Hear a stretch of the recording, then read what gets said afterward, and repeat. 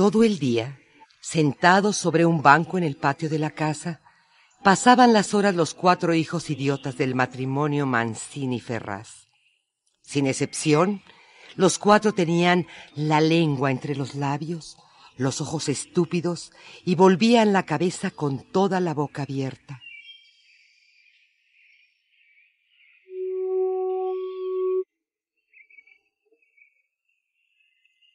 El patio de la casa era de tierra, cerrado al oeste por una cerca de ladrillos que no llegaba a los dos metros.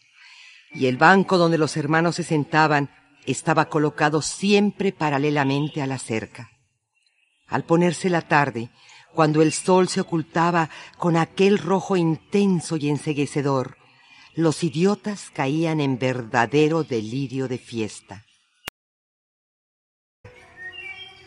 Daba la impresión de que los incandescentes jirones que iba pintando el sol sobre sus cuerpos y sus caras tenían el poder de transformarlos en bestezuelas que reían frenéticamente congestionados por su propia risa incontrolada y acentuada por el rojo crepúsculo que los bañaba con su última luz, mientras contemplaban al sol que parecía sangrar con su entusiasmo animal.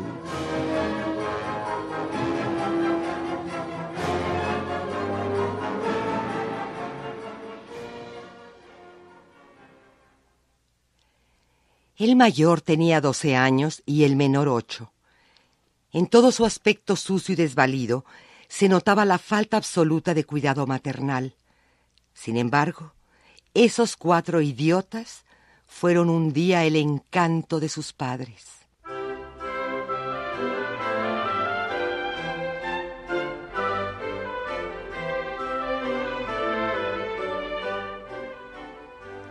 A los cuatro meses de casados, Mancini y Berta habían orientado su estrecho amor de marido y mujer hacia un porvenir más vital, tener un hijo. Y qué mayor dicha para dos enamorados que la consagración de su cariño, ya liberado del primer egoísmo de su amor sin finalidad y con pocas perspectivas en común, como no fuera a través de la maternidad de ella y la paternidad de él. Así lo sentían los dos y cuando a los catorce meses de matrimonio llegó por fin el vástago deseado, Berta y Mancini creyeron cumplida su felicidad.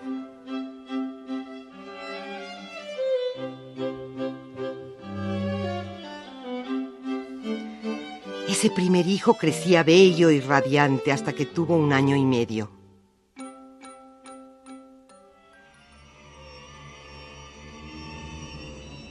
Pero una noche, en el vigésimo mes de su tierna vida, lo sacudieron terribles convulsiones.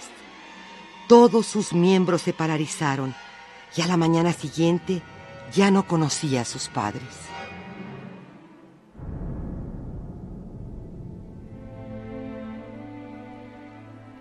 Aunque con el tiempo el niño volvió a recuperar el movimiento de su cuerpo, la inteligencia y el alma se le habían escapado para siempre. El niño mostraba un idiotismo profundo y colgaba casi inerte sobre las rodillas de su madre.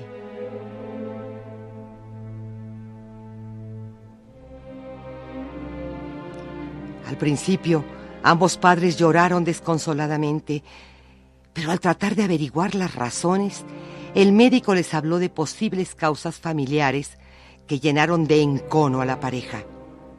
Mancini en su interior se concretaba culpar a Berta, sobre todo cuando recordaba el soplo pulmonar que ella había padecido desde que eran novios, pues para él este padecimiento podía haber marcado el desarrollo del feto en el vientre y la falta de oxígeno en el cerebro infantil a la hora del parto.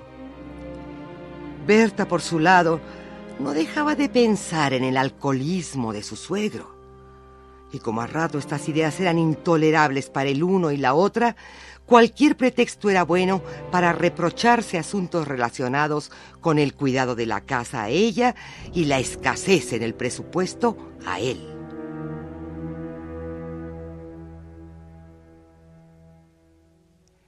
Por fortuna, los ardores del principio todavía los conmovían y por lo general estos reproches culminaban con una fogosa reconciliación en el hecho conyugal. Así fue como llegó el segundo varoncito a la familia.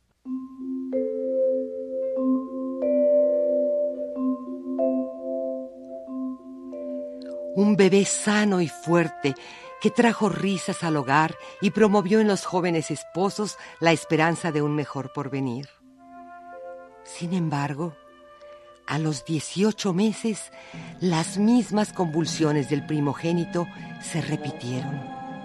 Y una vez más, la misma historia ensombreció sus vidas. De este nuevo desastre brotaron intensas llamaradas de dolorido amor y un loco anhelo de redimir para siempre su matrimonio. En esta ocasión, ni uno ni otro se dieron tiempo de pensar si era conveniente un nuevo embarazo. Los esposos estaban decididos a probarse que ninguno era culpable de la debilidad mental de los hijos. Y enloquecidos por la desesperación, se lanzaron en busca de un tercer hijo.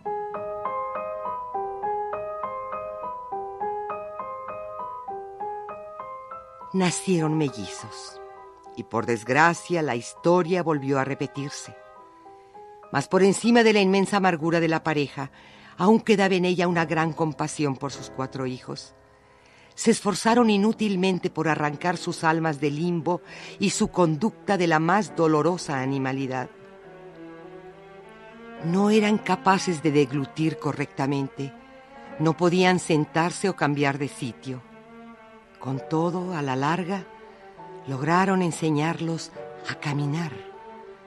Aunque lo hicieran precariamente y se estrellaran contra las cosas, pues parecían no darse cuenta de los obstáculos que surgían en su camino. Solamente la comida y el color rojo los animaban y les conseguían sacar sonidos guturales para expresar su deleite. Los cuatro poseían la facultad de imitar algunas de las conductas de sus padres y de la mujer que se encargaba de cuidarlos cuando Berta se sentía incapaz de continuar su esfuerzo. Eso fue todo lo que consiguieron de aquellos pobres hijos que los movían al encono, a la amargura y en ocasiones cada vez más raras, a la ternura. Con el tiempo y la insatisfacción erosionando su corazón, la pareja se fue agriando.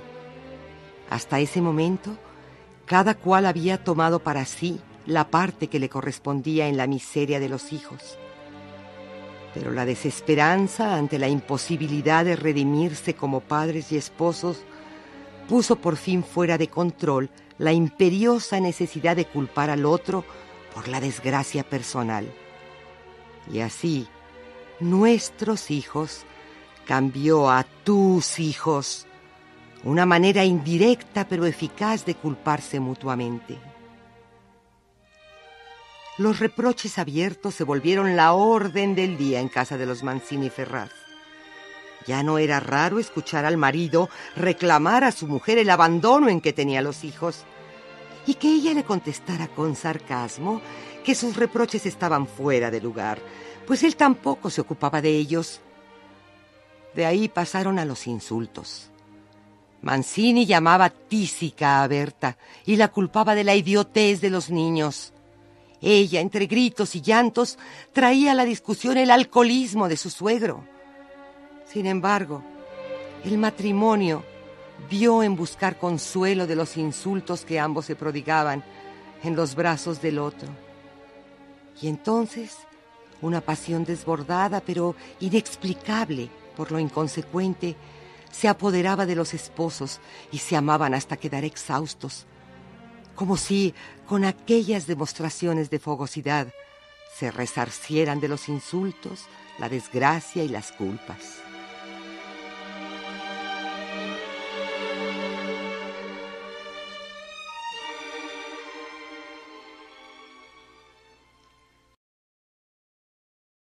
Un día de tantos, en medio de la lista de acontecimientos negros y grises para la pareja, Berta supo que, que nuevamente estaba embarazada.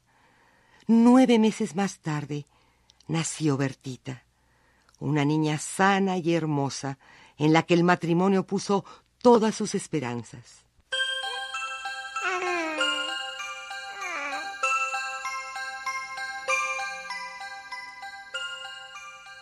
Así pasaron dos años sin que la desgracia se presentara. Y no obstante, fueron dos largos años de angustia infinita para los padres, esperando siempre lo peor. Ese temor hizo que ambos progenitores se volcaran por completo en la bella hija, a quien llenaban de ternura y concedían todo tipo de caprichos, hasta llevarla al límite de la mala crianza. Pero no por el nacimiento de Bertita y sus ya tres años plenos de salud, había vuelto la paz a los corazones de la pareja. Ahora, la menor indisposición de la niña echaba afuera, ante el terror de perderla al igual que a los otros, los rencores que su mala descendencia había dejado en el alma del matrimonio Mancini-Ferraz. Con tales sentimientos, poco a poco ya no quedó nada para los cuatro desdichados. Ningún afecto, solo olvido.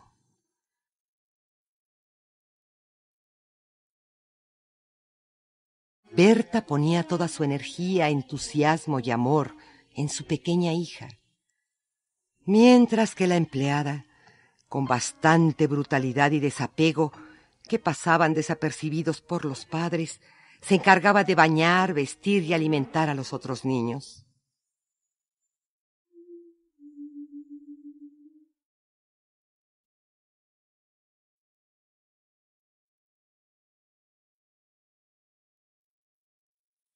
El día anterior al cuarto cumpleaños de Bertita, ésta tuvo una, una ligera indigestión a causa de tantas golosinas y de la emoción ante la inminente llegada de su fiesta, en la que podría jugar todo el día con vecinos de la misma edad, olvidándose así de la presencia indeseable de esos cuatro hermanos por quienes no sentía ningún afecto, en la medida en que la comunicación con ellos era imposible, y que tanto su papá como su mamá habían impedido desde un principio, hasta hacer que la niña los percibiera como odiosos obstáculos en su felicidad infantil.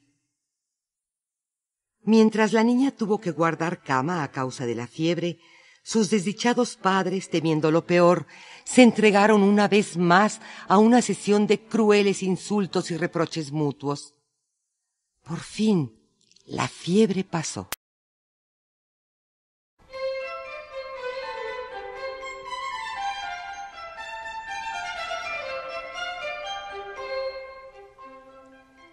A la mañana siguiente, el día de su cumpleaños, la niña amaneció radiante, y acaso porque los cuatro hermanos sentían la felicidad en el ambiente, deambularon por toda la casa riendo y pegándose unos a otros hasta que sus andanzas los llevaron a la cocina.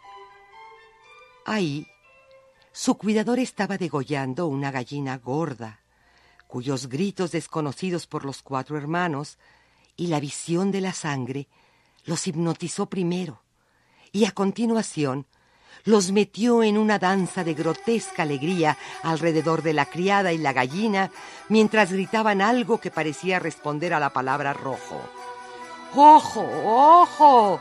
gritaban y bailaban como un ritual de celebración que terminó solo cuando sus padres lo sacaron de la cocina para que la empleada tuviera tiempo de preparar los platillos para la fiesta de Bertita. Más tarde, el matrimonio Mancini Ferraz y su pequeña hija fueron a invitar a sus vecinos a tan importante celebración que sería presidida por ambos padres, para lo cual, una vez que acabara de cocinar, la empleada tenía permiso de marcharse, no sin antes dejar a los cuatro hermanos sentados en su banco frente a la cerca de ladrillos.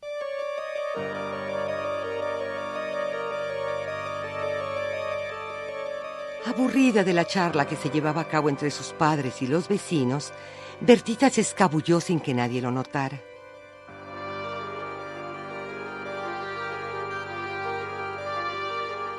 Al llegar a su casa, La niña se dirigió de inmediato a la cerca donde sus hermanos, como era lo usual, estaban sentados en su banco.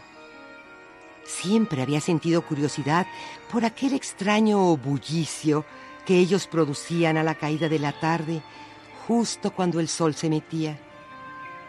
Ese inexplicable ritual que tanto le llamaba la atención, pero que nunca había visto a corta distancia, pues sus padres se encargaban de sacarla cuanto antes y solo podía ver de lejos aquellos movimientos desenfrenados, torpes y sin embargo tan animados.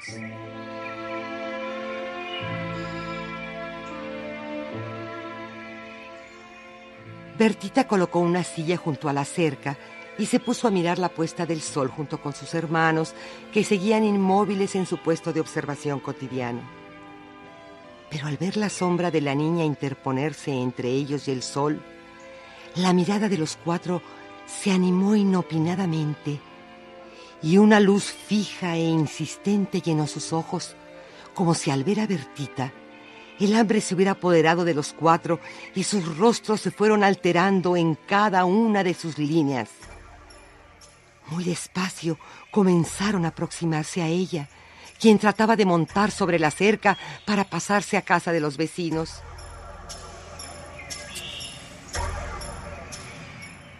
De pronto la tomaron de una pierna y cuando miró hacia abajo vio ocho ojos clavados en los suyos y sintió miedo. Pero cuando el mayor la apretó por el cuello, la sangre se congeló en su pequeño cuerpo. La arrastraron de una sola pierna hasta la cocina y sin dejar de apretarle el cuello, la pusieron sobre la mesa donde aquella mañana habían degollado a la gallina.